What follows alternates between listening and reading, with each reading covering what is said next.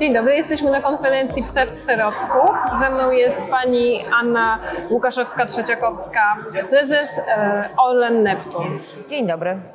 Chciałabym zapytać o e, powstanie e, tej spółki Orlen Neptun. W jakim celu ona powstała? Em, PKN Orlen ma taką ambicję, żeby stać się liderem morskiej energetyki wiatrowej na Bałtyku.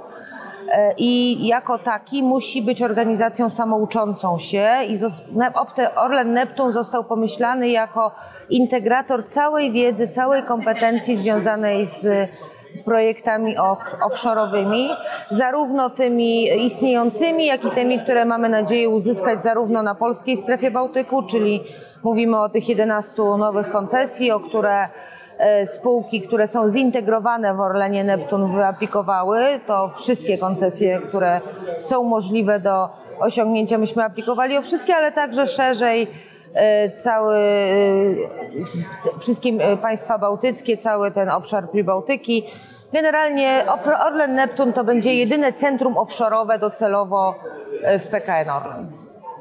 I e, właśnie zaaplikowaliście Państwo na wszystkich 11 lokalizacji, czyli jak wygląda, rozumiem, że macie nadzieję uzyskać wszystkie Bardzo byśmy chcieli dostać jak najwięcej. To jest przejrzysty i konkurencyjny proces. Zostało złożonych 132 li- y, aplikacje, czyli zainteresowanie jest ogromne. To jest kilkunastu potencjalnych dużych graczy. Zarówno spółki y, polskie, takie jak właśnie Orlen, poprzez y, Orlena Neptuna, jak i PGE, e, ale również gracze światowi. Zobaczymy, ile nam się uda uzyskać. Liczymy na dużo.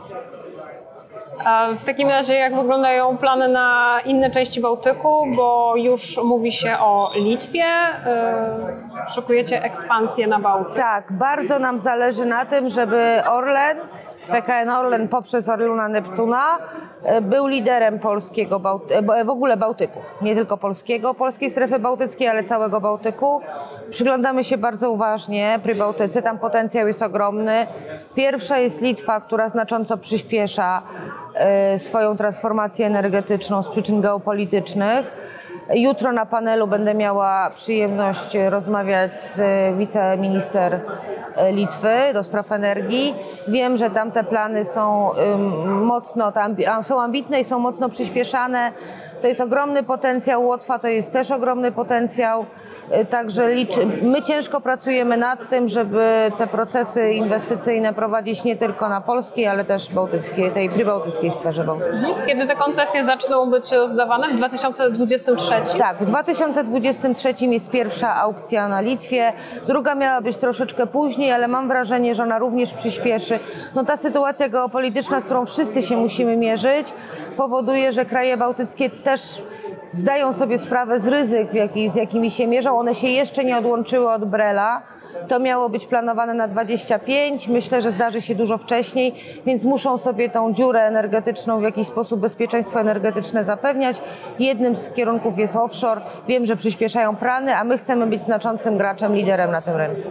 Chciałabym jeszcze zakończyć pytaniem e, co do otwarcia e, farmy e, Baltic Power e, z pierwszego rozdania. Czy jest to wszystko według, zgodnie z harmonogramem? Czy W tej, jest? e, czy w tej chwili e, na kiedy jest e, E, My planujemy y, w 2025 proces instalacyjny, w 2026 do połowy y, być gotowym do produkcji energii. Bardzo nam zależy na harmonogramach i myślę, że będziemy w terminach, także połowa 26 zakończenie inwestycji.